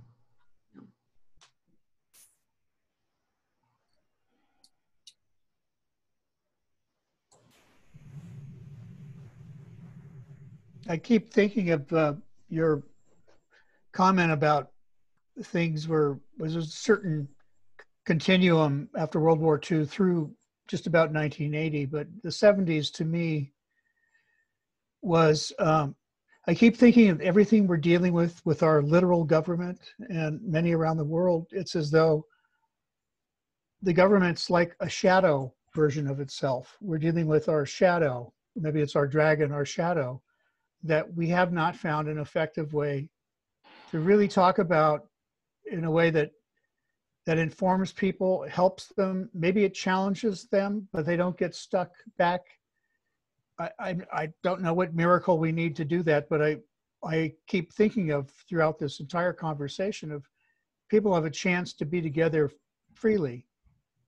And fear and greed, which is today our government, we have half the government literally saying, go back to work. Sure, a lot of you will die, but we need, we need the money if that isn't a shadow, a shadow sense of a government, I don't know what is. It's really madness. We live in a time where things are so brightly illuminated. It, it takes a very specific, intense type of lying to you just even maintain this this facade. And the sad part is that we are still subject to it. it it's, but I think in the 70s, what I was going to say is the 60s we were there was a lot of young people in there. Me, I was born in 1951. I was right in the core of the whole thing, and uh,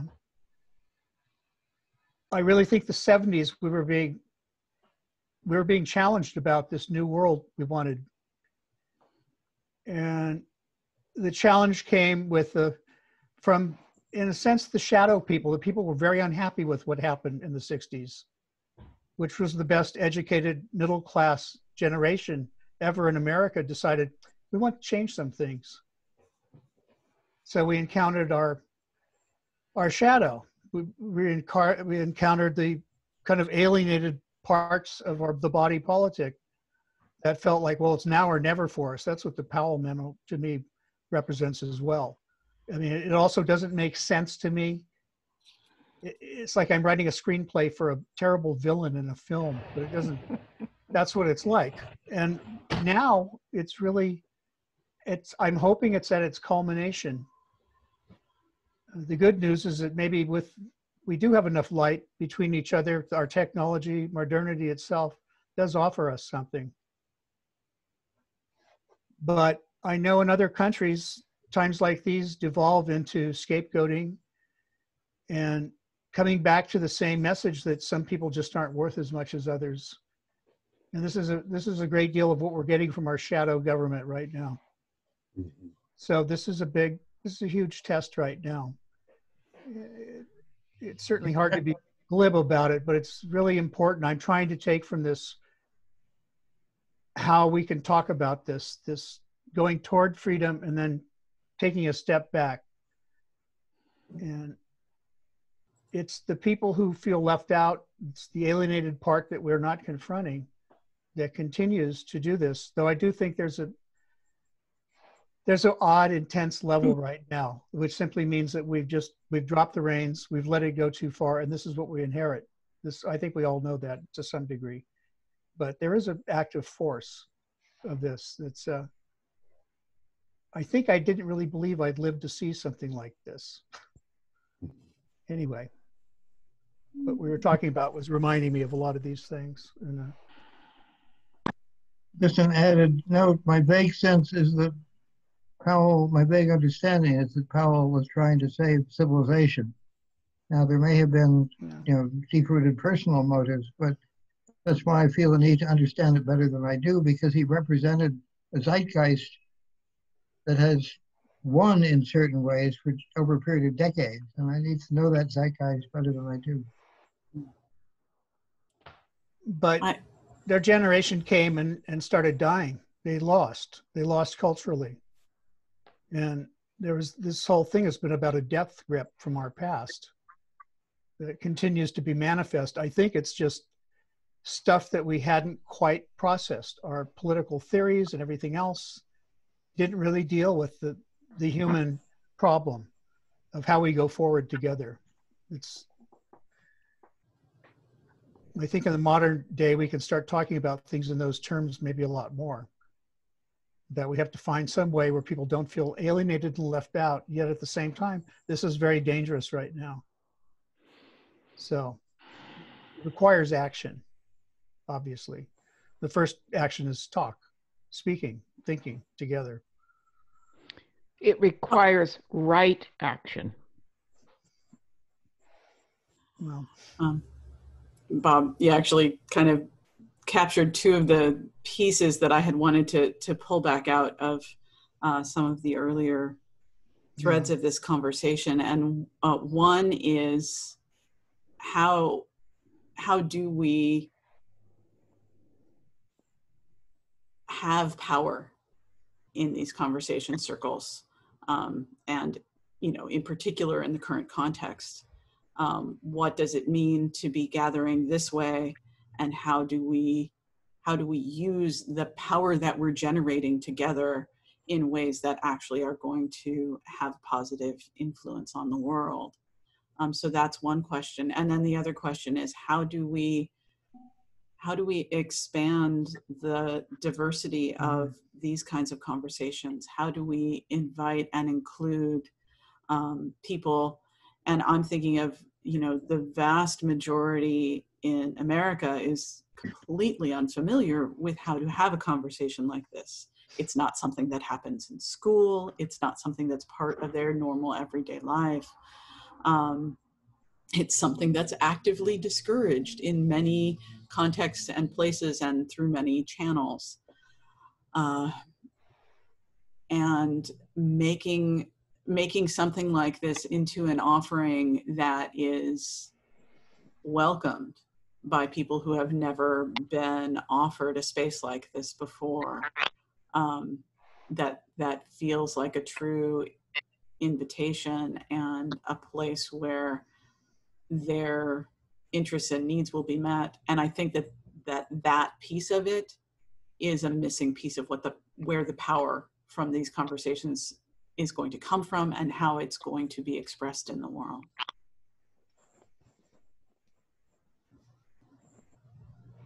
So I'd like to follow up with some ideas about next steps. And I really like this idea of thinking intentionally about ways that we can try and scale or try and do a deep dive into thinking about how what we are doing can have an amplified impact. So, just to mention sustainable development goals, I think if we explicitly tie things that we do um, to sustainable development goals, it will uh, build on existing international language and agreements. Also, Project Drawdown, which uh, gives quantification for um, essentially carbon benefits or addressing, alleviating the climate crisis is another framework. Then I would say we really do all that we can to highlight stories about Indigenous people, Indigenous ways um, as alternative, more hopeful, more earth centric, more equitable ways of relating. And I know there are maps available that shows historical distribution of indigenous people, but I don't think that there is yet enough or yet an intentional undertaking of communities or groups of whatever type. I really think about uh, moving forward from a health clinic standpoint, health systems, uh, that I think bringing in environmental considerations, partnering with indigenous people is a way to get to that perspective in a humble way um, of looking at previous examples that were unfairly um, marginalized or uh, victimized through genocide and other such tragedies. But uh, that seems to be an opportunity that we can do a deep dive into our local region, indigenous ways, and then we can try and work with other people to think about mapping um, indigenous groups that are still present. And if they're not present anymore, there's still the memory, there's still the story, the land still speaks, um, the ancestors still call, I think. So um, that's another idea.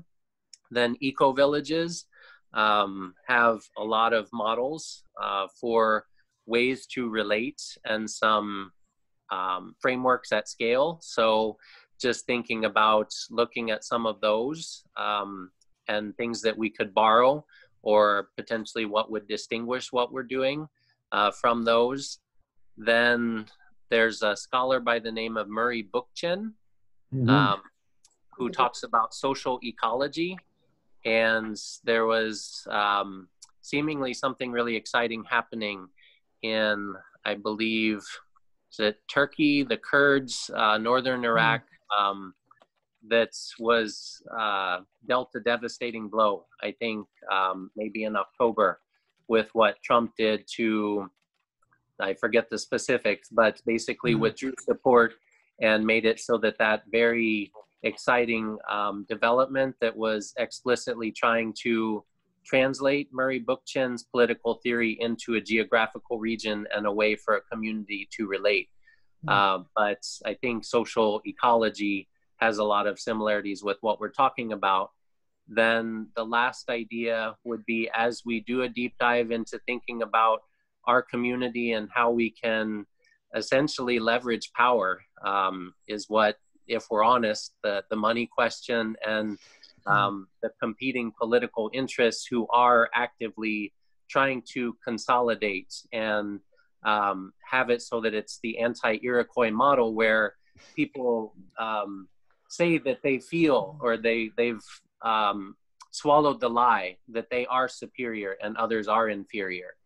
So just to know that that is out there, and to some extent, although very cautiously, we we can't make up entirely new rules. We have to play to some extent by the rules of the game that are out there.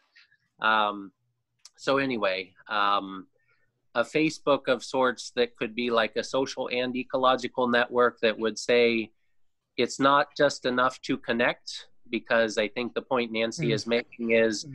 you can come together and be very ill informed or very selfish and uh, destructive. But if there could be a Facebook of sorts that would encourage and uh, in some ways like affirmative action uh, using that political terminology, but um, preemptive, proactive, going to places where people are not able to tell their stories mm-hmm. or they they have been damaged uh, by the existing structures and systems which tell them that they are inferior and really going to those people making it uh, as easy as possible so that everyone in every place can tell their stories about what matters for them in a way that is unifying and promoting of um, just having life um, continue and flourish as much as possible. So these are stories about sustainability, they're stories about unity, they're stories about humility.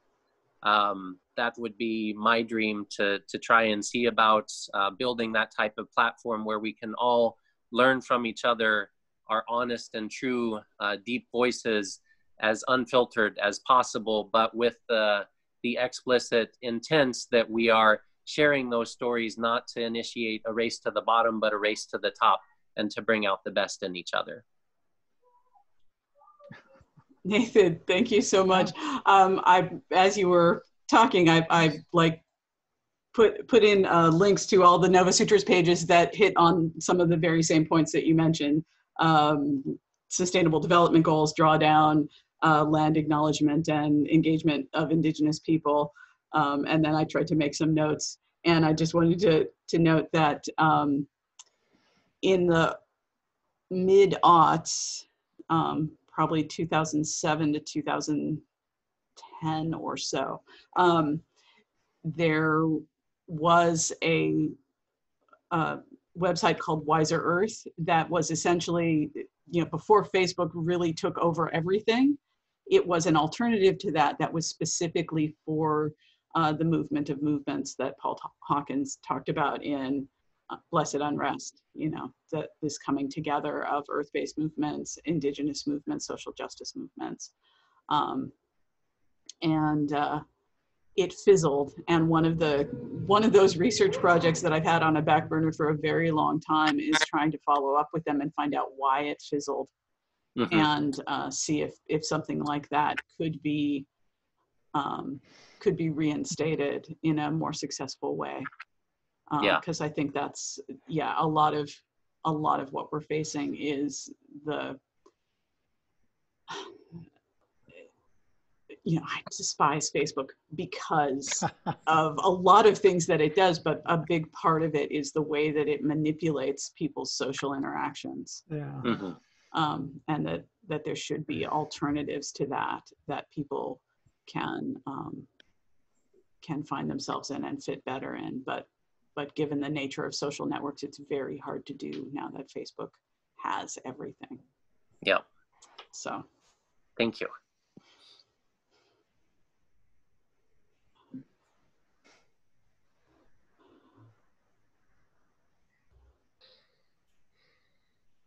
Are there other things that people want to say, people want to share? Again, I just um, need to express so much gratitude, Paul. Your your talk and the the clarity of the ideas and the perspective that it provides us is so powerful. I'm really, really grateful for that. Can't wait to get this online and out in the world.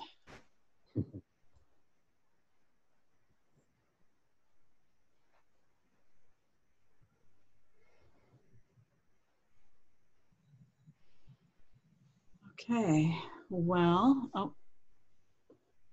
Karen, were you trying to say something here? I think you need to unmute on that side. That's funny. I just, I hadn't quite decided really. Um, I guess I, I just want to say some things that I was struck by more than anything else. Um, but one is the idea that we aren't really ourselves until we participate with others in, in a reality that we create together. That seems to me so important and powerful and true. Um, and, you know, I feel like that's something that needs to start with kids young and the idea, whole idea of council and of a place where people can come together um, in town halls and forums and circles um, that that's somehow really essential to people having a sense of of themselves as powerful beings. Um, I also think it's really helpful telling us stories about our history. Um, for most of us, it's something we studied once in school when we were little, and it's not very present anymore. and I thought about our brother's poem, History is Behind the Eyes, our uh, brother Lucian, who had more than anyone I've ever known a sense of the um, ongoing continuity of the past with the present. And um, it was it was not a metaphor for him that history is behind the eyes. It's it's right there. Um, and oh, I thought the title of your talk with 20,000 Reasons for Hope was like, so wonderful. But I feel like those stories, um, you know, about Ben Franklin and the Iroquois and the founding of Earth Day, we need those stories. Um, we need them a lot right now. Um, and other than that, I just have a lot of questions. Like, I think, uh, you know, like the North Korean woman said, our history, our freedom is fragile. We are really in danger. Um, you know, I, we all need to be talking to each other like this. how do we do that? Not everyone's going to come on, you know, this particular uh, group, but people need this kind of experience. So yeah, that's about it. I don't know if you have anything. But thank you. Yes, thank you.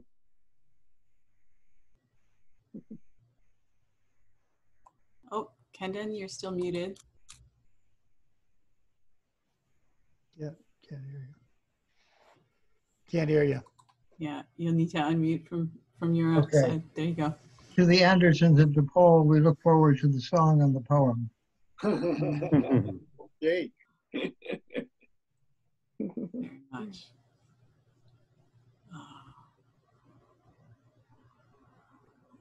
Well, I feel like we're getting close to uh, closing here, unless there's there's other things that are wanting to be said.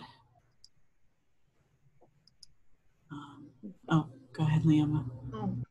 Maybe I'll send out the beginning of the Dream Egg story, which is about Ubuntu. Because Oh. it's a story that I'm wanting to people to co-create together. Wonderful. Okay. I, you know, I, I saw that email from you and I haven't had a chance to do anything about it yet. Um, but what, Expect you to, yeah. yeah, what I would, what I would like to do, um, and, and we can talk about this more later, is that we might make it a, a shared Google document that, um, that people can uh, at least put their comments and suggestions in. So um, you and I should have a have a conversation about that, and we'll we'll make that available.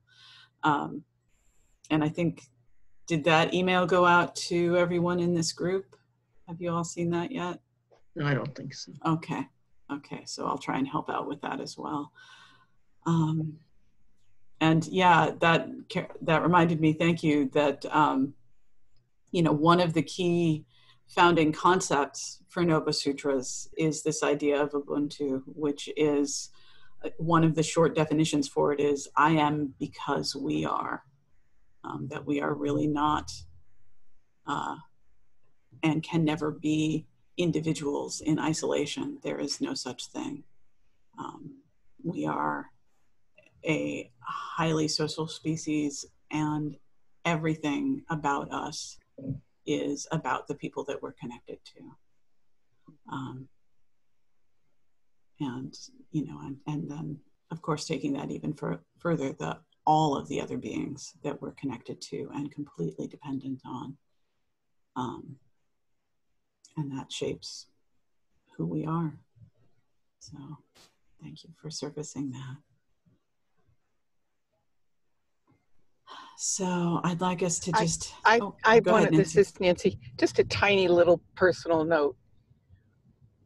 One month to the day prior to, um, excuse me, one month to the day following the first Earth Day in 1970, April 22nd, my son, my oldest son and first child, on May 22nd, 1970, was born, which is what I was doing for, for Earth mm-hmm. Day. And he uh-huh. will have his 50th birthday in a mm-hmm. month. So I just wanted to share that personal note with you all.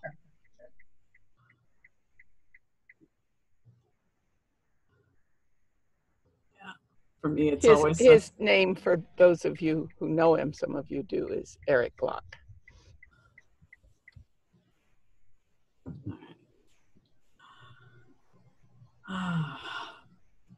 Well, dear friends, thank you so much for um, this amazing conversation.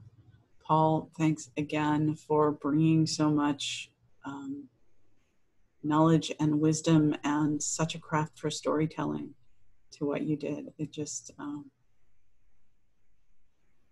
it works on so many levels, and I'm just, I'm always so impressed. Um, so thank you. So before we go, um, I'd like to invite us to maybe just take um, not even a minute of silence to really drop in. Feeling the gratitude for what took place here today.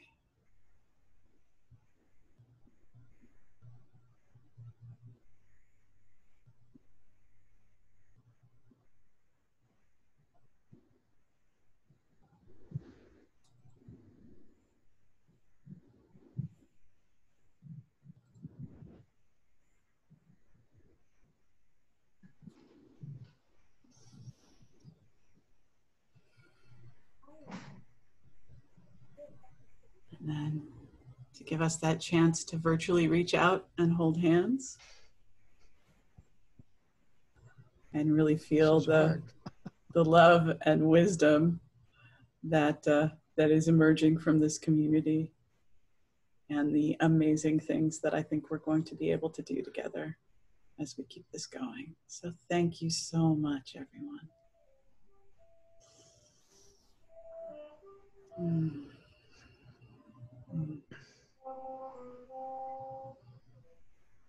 Mm. All right. Be well. Thank you. Thanks, everybody. Thanks, Paul. Thank you, Nathan.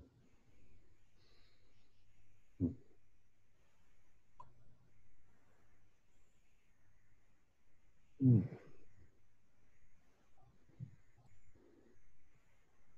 I'm going to close out now. Okay. Take care, Leoma.